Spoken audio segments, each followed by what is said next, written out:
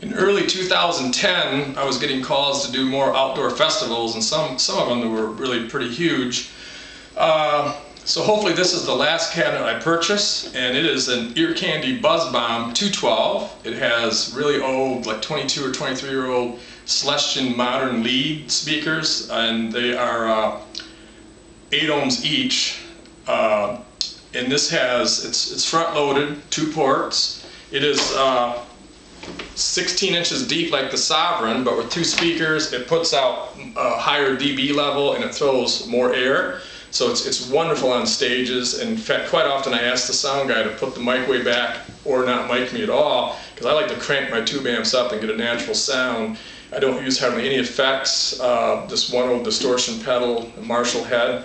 And uh, this has casters that you can pop out. You can stand it up the other way if you want to put a little combo head on it. It has the really good handles on each side, like the top loaded handles, but they're loaded on the side.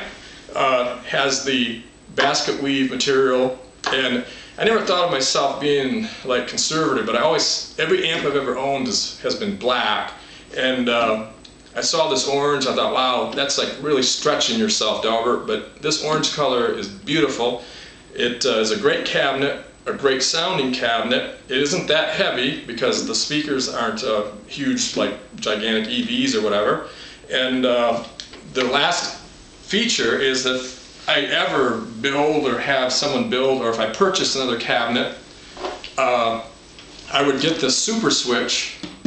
I'd call Tim and have him build a cabinet with the super switch at Ear Candy Cabinets because you can run stereo, 8 ohms, 8 ohms, or parallel, you can run 4 ohms, or series, like on certain heads that only run at 16 ohms, you can plug in a 16 ohm uh, head.